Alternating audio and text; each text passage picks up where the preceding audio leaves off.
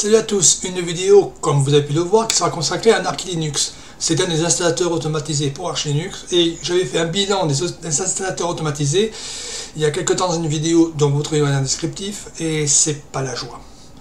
J'avoue que j'aime bien ce projet, je suis un contributeur du projet spécialement au niveau des traductions et parfois avec un peu de code. Et justement, cette vidéo va être consacrée à des apports de code que j'ai fait pour l'installateur. Parce qu'il y a des bugs plus ou moins vieux, plus ou moins laxatifs, que j'avais envie de voir disparaître. Donc, tout commence euh, ce matin avec un bug que j'avais rapporté il y a quelques jours. Voilà. La, partie qui permet de générer l'image CLI, pour commander l'interface ne fonctionnait plus. Parce que Archiso 39 était passé entre temps. Et voilà les erreurs que j'avais. Je me suis dit pourquoi j'ai cette erreur? Je n'avais pas à comprendre. Et c'est grâce à des Demlac qui avait justement un problème un peu relié qui m'a donné la solution. Et elle avait modifié le nom et compagnie par rapport à l'image euh, bout de truc démarrage parce que ça, ça ne pouvait pas démarrer. Et je me suis dit, est-ce que ce serait pas lié à MD Ucode ou MD Microcode alors qui est arrivé voilà, qui est arrivé très récemment sur Archizo, d'ailleurs qui est arrivé euh, fin août sur l'outil Archizo. Parce que c'est-à-dire que là, le script était un peu paumé pour générer l'image ISO. Comme je précise dans l'article, voilà. Si on regarde, si on extrait une image ISO, et si on va dans Loaders Entry Archiso x86.conf, on s'aperçoit qu'en août, il y a 5 entrées, puis l'option avec le nom de l'étiquette de l'ISO, mais en septembre 2018, il y a 6 entrées. Et c'est ça qui provoquait le bug, parce que le script ne s'attendait pas à avoir 6 entrées avant d'arriver au label. Donc, j'ai proposé un patch qui corrige ça. Voilà, je vous le montre. C'est juste au niveau de la partie configure boot, c'est de remplacer nombre de lignes par 5 par 6. J'ai vérifié, ça passe. C'est ce qu'on appelle un one-liner, un bug corrigé d'une ligne. Parce que l'étiquette de l'image ISO était une ligne plus bas et que le script avait perdu ses petits. Autre bug qui est toujours lié au bug rapporté par euh, Demlac, c'était un vieux, vieux bug. Le bug 637 que j'avais rapporté le 29 janvier. Et j'avoue que celui-là, il m'a donné pas mal de fil à retordre. Énormément même. En janvier, Arch Linux décide, ah, c'est pas de modifier en partie ses outils, euh, ses scripts d'installation. Et ce euh, je crois que c'est celui-là, moi je crois que c'est ce, commit-là, qui justement provoque la merde. Parce qu'à un moment, la, génération d'image ISO entre ce qu'on appelle un chroot pour installer des paquets dans un espace spécifique pour générer l'image ISO. Et il montait, ce qu'on appelle monter, des points d'accès spécifiques. Mais manque de peau, la nouvelle version de, l'outil Root faisait ça par lui-même. À des courses, bim, ça s'est tapé sur la tronche. Et ça provoquait le bug que j'avais ici. Avec l'histoire du proc déjà monté. Alors j'ai pas mal galéré. Euh, depuis le 29 juillet, je galère ce, truc. Et là, grâce au wiki, j'ai pu trouver la solution. Et voilà, vous avez déjà une capture d'écran. Là, euh, et voilà ce que j'ai fait pour corriger le bug. En gros, pour vous expliquer, il fallait déplacer les points de montage. Le proc, 6 et dev. Les mettre ailleurs. Parce que sinon, ils interféraient avec Shoot. Voilà, comme j'ai précisé, depuis la version Archinextal Script 18, Arch définit tout seul ses points de montage. Donc les, lignes de montage étaient inutiles. J'ai remarqué que la partie qui permettait de générer les locales était bloquée si en, je lançais la compilation d'images GUI. J'ai désactivé les, lignes concernant le, mount, boum, ça fonctionne. Après, je me suis débrouillé, je suis allé étape par étape pour trouver l'endroit où mettre la partie montage et la partie démontage. Voilà ce que ça donne. En gros, j'ai viré dans cette partie-là les trois lignes de, montage que j'ai mis au niveau de la fonction build sysgi, en précisant activative, activating mount points needed by this function, activation des points de montage nécessaires pour cette fonction. Après ça, blablabla. Une fois que tous les paquets sont récupérés, je précise avant qu'il installe le noyau et compagnie, Mount points are no longer needed, they conflict with our shaft route. Donc, j'ai viré les points de montage, et bien sûr, comme les points de montage étaient déjà virés, c'est inutile. Bon, ce n'est pas un super correctif, mais au moins il fait le boulot. Donc, ce que j'ai fait, vous aurez trouvé dans notre ne vous inquiétez pas. J'ai pris une image Arch Linux, un environnement Arch Linux pour les machines virtuelles, et j'ai généré des images ISO. Comme ça, j'étais sûr et certain qu'il n'y avait aucune interférence avec ma machine réelle. Vous voyez, ça a pris quand même pas mal de temps. J'ai récupéré les images ISO que j'ai mis dans téléchargement. Voilà. La clé et la GUI. Donc, ce que je vais faire, c'est vous montrer que la clé démarre avec un noyau 4.18.6 et que la GUI démarre. Et j'essaierai d'installer une image ISO avec la GUI. Enfin, une installation avec la GUI, bref. Voilà, donc déjà, choisir l'image. On va prendre la clé. Une interface. Vous préférez la version textuelle. Donc j'ai mis 4 Go de mémoire vive, 4 CPU, et là je reste en mode BIOS. Euh, les images ISO que je vais vous montrer sont des images ISO de développement, elles n'ont aucune garantie qu'elles fonctionneront chez vous. Elles fonctionnent déjà chez moi. J'ai demandé à Baba de me faire des tests, apparemment ça passe. Donc je vous proposerai les images ISO sur mon espace méga, mais je tiens à vous prévenir, c'est à vos risques et périls. Si ça plante, c'est pas mon problème je n'ai ici qu'une obligation de moyens, pas une obligation de résultat. Donc si je fais un petit uname, 4.18.5. 4.18.5. Bon, m'a foutu 4.18.5 alors que c'est 4.18.6, bon bref, peu importe. Vous avez un noyau 4.18. Pas mal, non? Qu'il m'a foutu 4.18.6, c'est enfoiré, mais bon, peu importe. Et là, si je lance et si je fais, on va faire déjà l'autre qu'ils aient faire. Si je fais 1, on a l'installateur, tout ce qu'il y a de plus classique. Voilà, donc je ne vais pas plus loin, vous avez l'installateur. Là, je vais faire, je vais changer, on va, faire, on va éteindre la machine. Et je vais vous montrer l'interface en GUI, ou interface graphique. Et là, alors, choisir une image disque. Voilà, vous voyez, 14h42, 14h19. 23 minutes pour générer l'image euh, graphique. Et vous voyez, il y a à peu près une heure au moment où j'enregistre la vidéo. Il est 15h20, donc une quarantaine de minutes que j'ai généré cette image ISO. Et là, on la lance. Bien sûr, la version 1.01 d'Anarchy Linux n'est pas encore sortie. Ce sont des ISO développement, je le répète. Si vous voulez les récupérer, les utiliser, commencer par une machine virtuelle. Je n'ai testé pour le moment que les installations d'Anarchy OpenBox et Anarchy XFCE et euh, l'installation de Deepin pour un bug, pour vérifier un bug que j'ai rapporté et que j'ai corrigé. Donc là, testez d'abord dans une machine virtuelle. Je ne pourrais pas être tenu responsable si ça plante. Et puis, ça fait toujours plaisir d'avoir encore une anarchie fonctionnelle. et voilà, nous avons une anarchie geek qui va se charger. Donc là, je vais passer le clavier en français. Euh, c'est XKB Map, pardon. C'est XKB Map.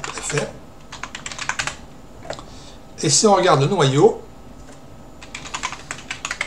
4.18.6, je ne sais pas pourquoi il m'a foutu 4.18.5 en machine euh, mais vous voyez, c'est du 4.18.6. Peut-être euh, la faute n'a pas de chance, mais en tout cas, vous avez un noyau 4.18 et avec une interface. Là, si on fait un screen fetch, on a bien une Arch Linux. Euh, une Anarchy Linux, pardon. Alors avec tous les outils. Le jeu d'icône qu'on aime ou qu'on n'aime pas. Donc ce que je vais faire, c'est lancer l'installation. Et je vais mettre euh, l'Anarchy XFCE pour vous montrer que ça fonctionne à peu près. Allez, ça c'est bon.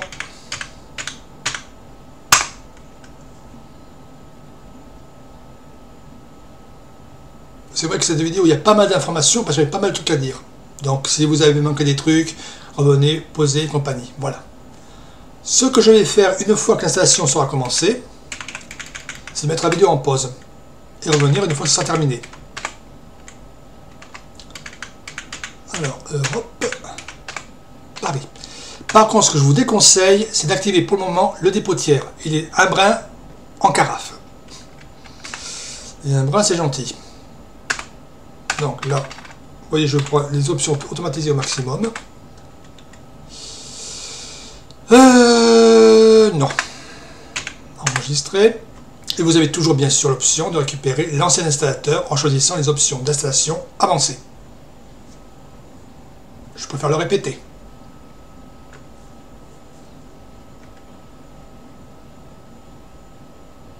Donc, on va prendre, si vous prenez Anarchy Advanced, vous avez l'ancien installateur. Donc, je vais prendre Anarchy Desktop et la version XFCE 4.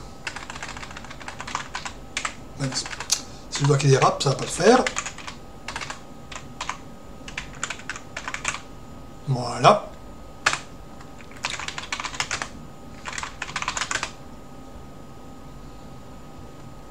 On va ajouter un nouvel utilisateur.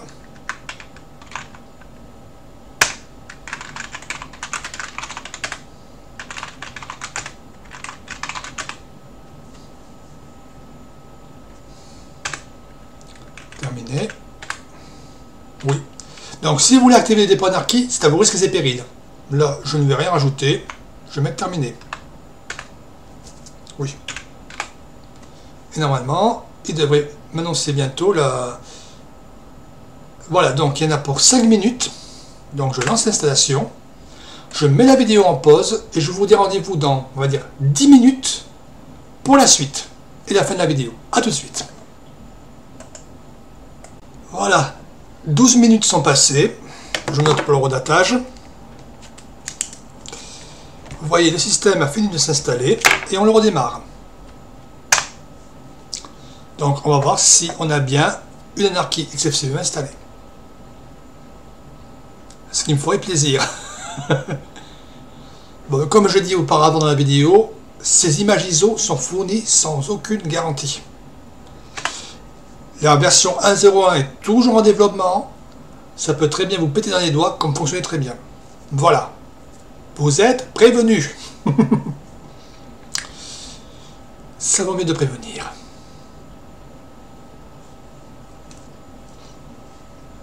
Donc, je me tairai sur les fonds d'écran. Bref. Bref, bref, bref. Donc on va changer le fond d'écran parce qu'il commence à me... Alors... Euh... Alors c'est dans les paramètres. Affichage.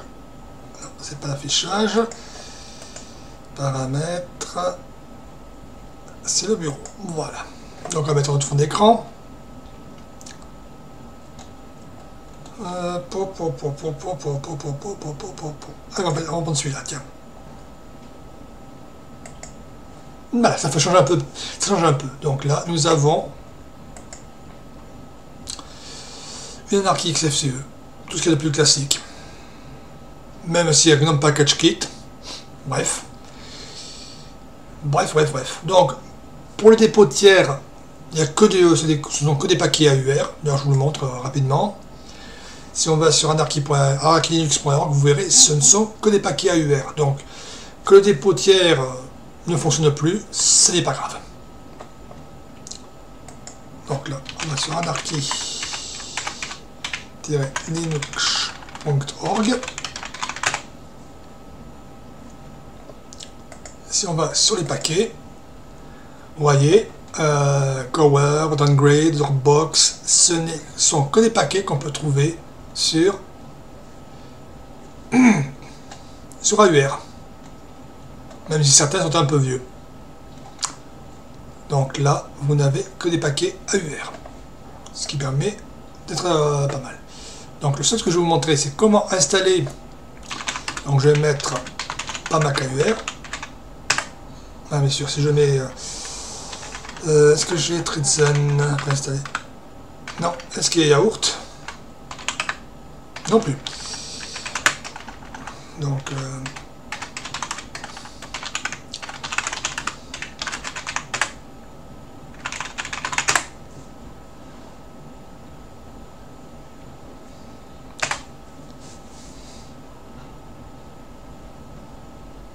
Donc là, on va vite cloner par ma KUR.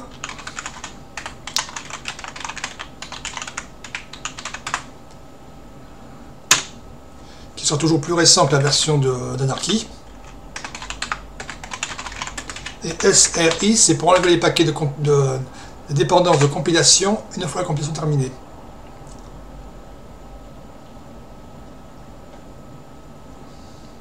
Bien sûr, on peut franciser l'ensemble, mais c'est juste pour vous montrer que c'est une anarchie fonctionnelle. Après tout, comme anarchie, ce n'est qu'une base Arch Linux, à peine retouchée. Parce qu'Anarchy, c'est un VTR Anywhere qui est devenu une distribution, donc...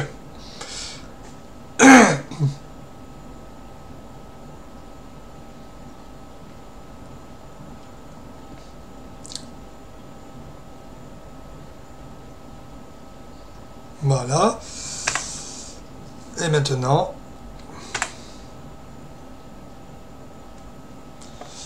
je vais ça. Propriété du lanceur, je vais le modifier pour en passer par PAMAC Manager. On enregistre, on ferme, et là normalement, j'aime l'informatique quand ça fonctionne. Donc package kit, on va lui dire tu te casses. Voilà.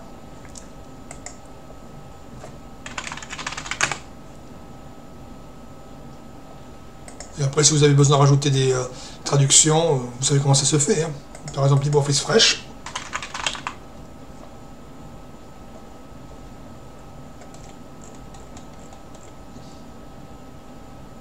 Voilà.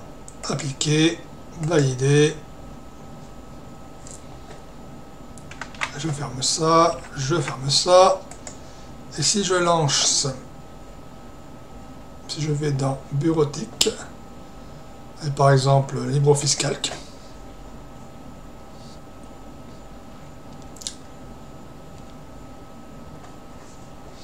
c'est beau l'informatique quand ça fonctionne. Je vais juste me déconnecter et vous allez voir qu'il y aura le, macaron de PAMAC qui va apparaître. Le macaron, la, la petite flèche pour dire il n'y a pas de mise à jour. Voilà, donc je, vais mettre les images ISO sur mon espace méga. Et si vous êtes intéressé par les ISO en vous rappelant que ce sont que des ISO de développement qui peuvent très bien vous claquer dans les doigts, il suffit de me contacter par un message perso et je vous enverrai ça. Voilà, donc ça, ça va faire dodo. Voilà, donc je vais vous laisser. J'espère que cette vidéo vous a plu. Et je vous dis salut à tous et à la prochaine. Ciao